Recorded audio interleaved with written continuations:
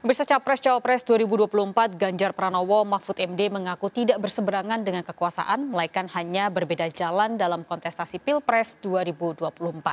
Dan berikut wawancara Eman Wicaksono dengan Ganjar Pranowo serta Mahfud MD. Mas Ganjar dulu deh yang satu partai. Shock Mas Gibran jadi cawapres. Tidak, Nggak kaget sama sekali. biasa saja.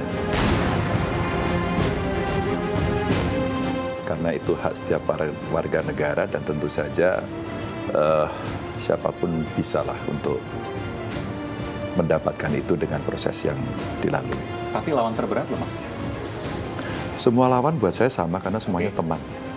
Kebetulan kami yang mendaftar pertama, saya dengan Pak Mahfud bareng. Sebelumnya kan Mas Anies sama Caimin. Empat-empatnya kuliah di Jogja, keagama semuanya, ketuanya saya kan itu. Ketua alumninya. Semua teman. Oke. Pak Prabowo, Mas Gibran teman juga. Jadi semua eh, teman yang menurut saya bisalah kita berkomunikasi, menunjukkan sebuah kontestasi yang sehat. Berseberangan dengan kekuasaan. Saya ingin Pak Mahfud bicara soal itu. Siap untuk berseberangan dengan kekuasaan dan mungkinkah itu terjadi?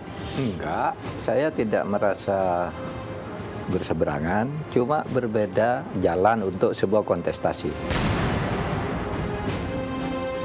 Itu beda kalau berseberangan tuh mungkin Kan sekarang belum Pak Mahfud, tapi nanti kita Enggak, tahu. nanti juga enggak. anak seorang presiden, putra presiden.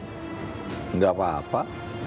Kalau Enggak apa-apa karena kota- masyarakat kita juga akan punya pilihan sendiri, ada ada rasionalitas, ada hati nurani, ada eh, opini publik juga yang akan terus mempengaruhi. Itu semua itu hak masyarakat. Tapi yakin nggak pemilunya akan berjalan jujur dan adil?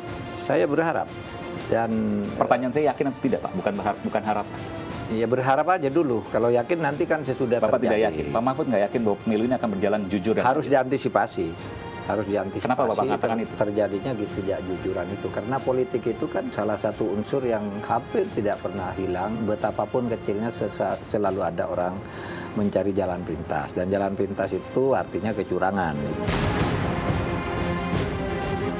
Itu selalu saja orang begitu. Mungkin saja itu bukan hanya terjadi di barisannya si A, si B, mungkin di barisan saya juga di bawah. Tapi saya sudah panggil semua yang satu yang aparat resmi saya di kantor, di Kompolnas, saya sudah panggil semua. Kamu harus netral, tidak boleh mengentertain saya. MK bisa dipesan, betul Pak?